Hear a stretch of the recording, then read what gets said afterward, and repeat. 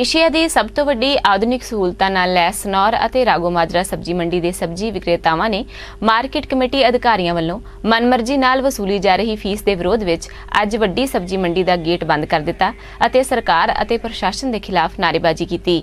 ਪ੍ਰਦਰਸ਼ਨਕਾਰੀਆਂ ਦਾ ਕਹਿਣਾ ਹੈ ਕਿ ਸਰਕਾਰ ਸਬਜ਼ੀ ਮੰਡੀ ਦੀ ਫੜ ਯੂਨੀਅਨ ਨੂੰ ਪ੍ਰਾਈਵੇਟ ਕਰਨ ਦੀ ਯੋਜਨਾ ਬਣਾ ਰਹੀ ਹੈ। ਉਹਨਾਂ ਕਿਹਾ ਕਿ ਜੇਕਰ ਸਰਕਾਰ ਅਜਿਹਾ ਕਰਦੀ ਹੈ ਤਾਂ ਸਬਜ਼ੀ ਮੰਡੀ ਵਿੱਚ ਗੁੰਡਾਗਰਦੀ ਵੱਧ ਜਾਵੇਗੀ। ਨਾਲ ਹੀ ਉਹਨਾਂ ਦੀ ਰੋਜੀ ਰੋਟੀ ਤੇ ਵੀ ਕਾਫੀ ਫ਼ਰਕ ਪਵੇਗਾ, ਜਿਸ ਨੂੰ ਬਰਦਾਸ਼ਤ ਨਹੀਂ ਕੀਤਾ ਜਾਵੇਗਾ। ਜੇਕਰ ਸਰਕਾਰ ਵੱਲੋਂ ਲੋੜੀਂਦੇ ਕਦਮ ਨਾ ਚੁੱਕੇ ਗਏ, ਤਾਂ ਸੰਘਰਸ਼ ਹੋਰ ਦੇਰ ਤੇਜ਼ ਕਰਨ ਦੀ ਵੀ ਗੱਲ ਕੀਤੀ ਗਈ। ਉੱਥੇ ਦੂਜੇ ਪਾਸੇ ਸਬਜ਼ੀ ਮੰਡੀ ਦੇ ਆੜਤੀਏ ਐਸੋਸੀਏਸ਼ਨ ਵੱਲੋਂ ਵੀ ਸਬਜ਼ੀ ਵਿਕਰੇਤਾਵਾਂ ਨੂੰ ਆਪਣਾ ਸਮਰਥਨ ਦਿੱਤਾ ਅਤੇ ਉਹਨਾਂ ਦੇ ਸੰਘਰਸ਼ ਵਿੱਚ ਸ਼ਾਮਲ ਹੋਣ ਦੀ ਗੱਲ ਕਹੀ।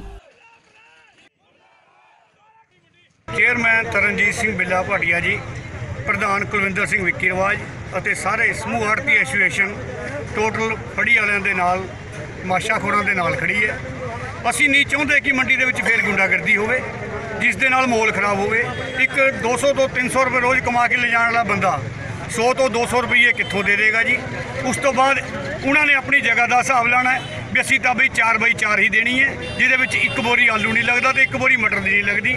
ਉਸ ਤੋਂ ਬਾਅਦ ਹੋਰ ਪੰਗੇ ਪਾਉਣ ਦੀਆਂ ਤਿਆਰੀਆਂ ਹੋਣਗੀਆਂ ਜੀ। ਮੰਡੀ ਦੇ ਵਿੱਚ ਬਦਮਾਸ਼ੀ ਹੋਏਗੀ। ਜੋ ਅਸੀਂ ਬਦਮਾਸ਼ੀ ਨਹੀਂ ਚਾਹੁੰਦੇ, ਅਸੀਂ ਚਾਹੁੰਦੇ ਹਾਂ ਜਿਸ ਹਿਸਾਬ ਨਾਲ ਚੱਲ ਰਿਹਾ ਹੈ, ਬਿਨਾਂ ਸ਼ੈੱਡ ਬਣਾਏ ਇਹ ਬੰਦੇ ਹਜ਼ਾਰਾਂ ਰੁਪਏ ਗਵਰਨਮੈਂਟ ਨੂੰ ਦੇ ਰਹੇ ਨੇ ਪਰਚੀ ਕਟਾ ਕੇ। ਅਸੀਂ ਨਹੀਂ ਚਾਹੁੰਦੇ ਕਿ ਕੋਈ ਗੁੰਡਾ ਟੈਕਸ ਲੱਗੇ ਔਰ ਪ੍ਰਾਈਵੇਟ ਕੰਨਾਂ ਨੇ ਕਰਨੀ ਹੈ, ਕੋਈ ਤਰੀਕੇ ਨਾਲ ਬਾਹਰ ਰੂਲ ਬਾਹਰ ਇਲਾਕੇ ਚੱਲਣ ਕੋਈ ਸ਼ੈੱਡ ਬਣਾ ਕੇ ਦੇਣ ਉਹਨਾਂ ਨੂੰ ਸਹੂਲਤਾਂ ਦੇਣ